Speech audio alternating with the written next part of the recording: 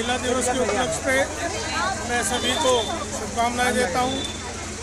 और इस अवसर पर मेरा ये संदेश है कि जब तक हम महिलाओं के अधिकारों के प्रति ज़्यादा जागरूक नहीं होंगे, उनके अधिकारों का, उनका सम्मान नहीं करेंगे और उनको बराबर का स्थान हम अपने समाज में नहीं देंगे, तब तक महिला दिवस का कोई औचित्य नहीं है।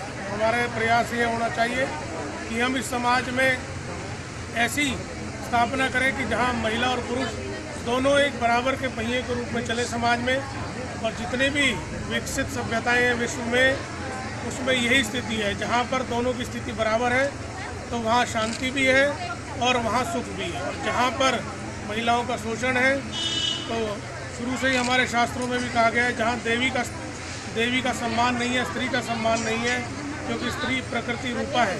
अगर हम उसी का सम्मान नहीं करेंगे तो कभी हमें सुख और संतोष नहीं तो मेरा सभी को यह संदेश है कि अपने वास्तविक जीवन में इसका अमल करें। केवल ये बात भाषण तक और कार्यक्रम मनाने तक सीमित ना रह जाए। हमें वास्तव में महिलाओं का बेटियों का माताओं का सम्मान करना चाहिए उनको बराबर के अधिकार देने चाहिए ताकि हमारा समाज और ज़्यादा फल सके जय।